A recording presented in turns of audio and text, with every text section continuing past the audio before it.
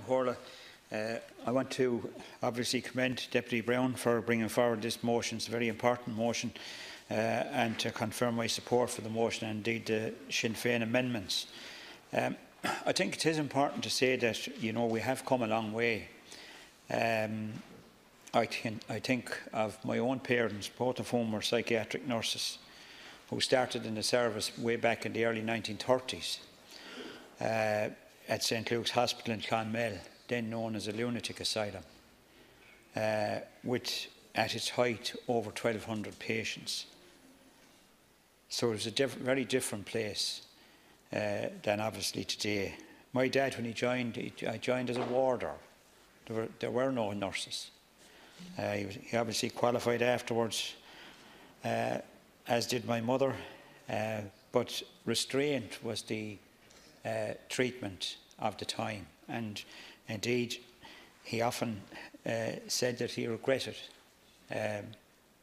the restraint that they had to use in those very early days. Uh, but that generation too was a gen generation that started challenging the whole idea of uh, and the whole area of stigma around mental health. Uh, for instance, uh, they, that was the generation that removed the huge walls around uh, uh, psychiatric hospitals, uh, took down the gates,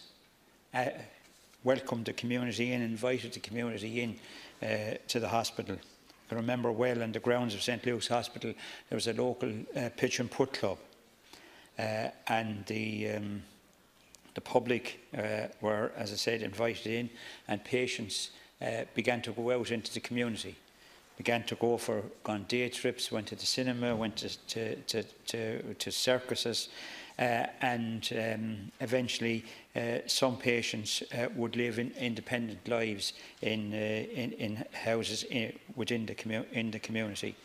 Uh, and that, that, was, uh, that was, I suppose, the beginning of the whole idea of community-based services.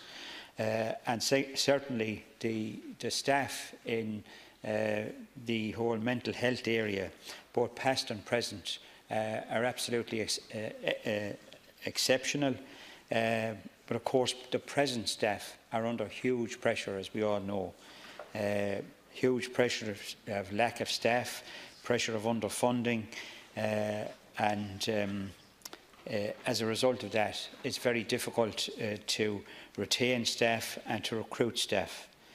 Um, I think it's important also to, uh, you know, refer to the various um, volunteers who work in this area.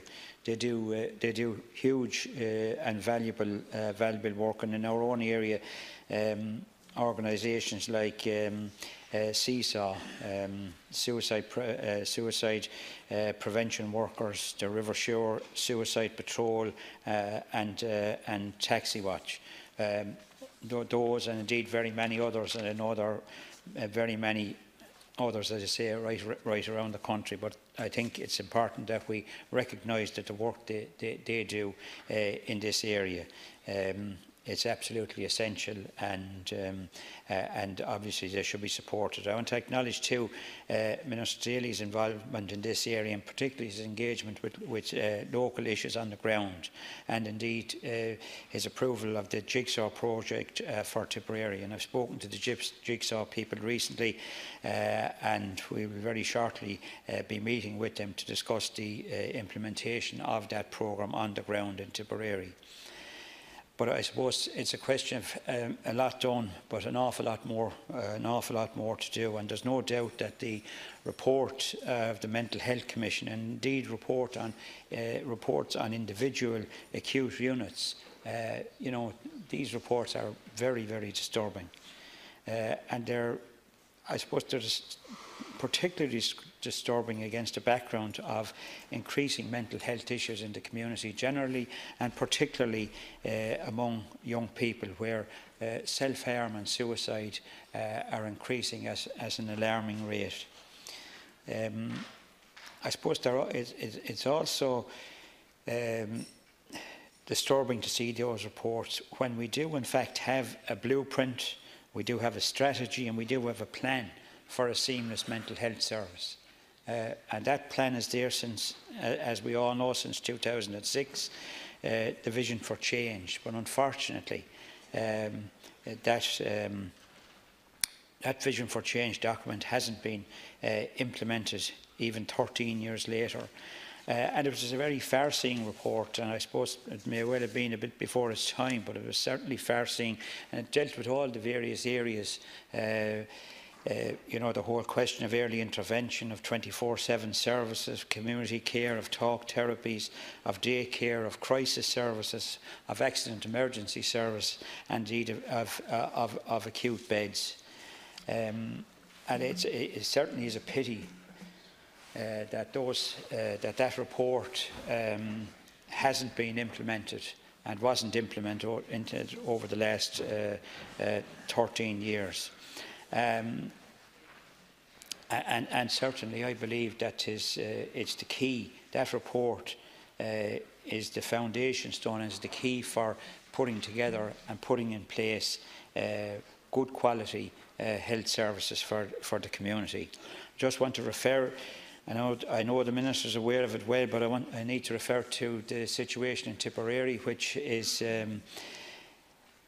particularly difficult since the services were devastated back in 2012 with the closure of the acute unit uh, at St Michael's uh, in, uh, in, in Clonmel. Um, and that unit, uh, when that unit closed, South to Prairie patients were uh, sent to Kilkenny, North to Prairie patients to Ennis.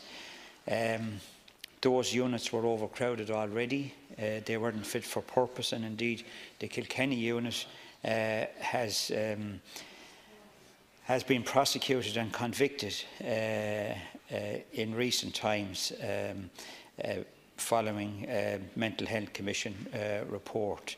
We also find that it's very difficult uh, for to South Tipperary patients to be admitted to that unit and when they are admitted uh, uh, there's early discharge of patients and of course the whole question of family support um, because of travel uh, you know, is, is almost non-existent and certainly uh, family support is, is key to um, helping patients uh, improve and um, recover uh, in this situation. We also uh, were promised at the time, of course, a Rolls-Royce community service, but of course that didn't happen either.